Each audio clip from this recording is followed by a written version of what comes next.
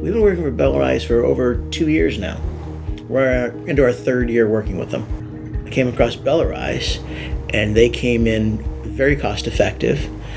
And after extensive testing, because you don't in a bakery you don't change yeast like you change a pair of shoes. You know, it's yeast is one of the things you're most concerned about. Um, but they had a product that matched the performance, actually probably outperformed our old supplier, and uh, we've been working with them ever since.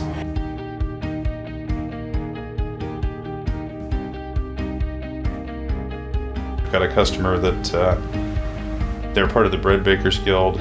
They are very idealistic, but they want to produce larger and larger quantities. And some of the products that they were using were, you know, kind of falling out of spec with the many changes that have occurred in our industry. We were able to, you know, focus our efforts, uh, put them in touch with a, you know, an all-natural clean ingredient that allows them to produce a greater volume and still stay pretty close to their standards and where they'd like to be. The folks came out very quickly. They brought a lot of resources to bear to uh, do some additional testing for us so that we could learn what we needed to learn to help us move forward. We've gone into facilities and, and given the opportunity to look at the customers' uh, formulas and clean them up, knock them down by maybe five, six ingredients, uh, replacing them with just one of ours, uh, helping them out as far as uh, batch sizing goes and reducing uh, not, not only cleaning up their label, but reducing the amount of stock that they would keep for their current formulas. Originally, there were several folks that were afraid about, oh, we're reporting this yeast all the way from Turkey.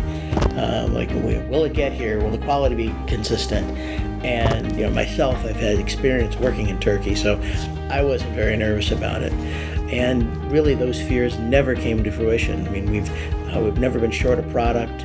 Our product's always been high quality the service is just like the supplier's been making it next door. So the fact that it's being manufactured half a world away has not been any hindrance at all to us.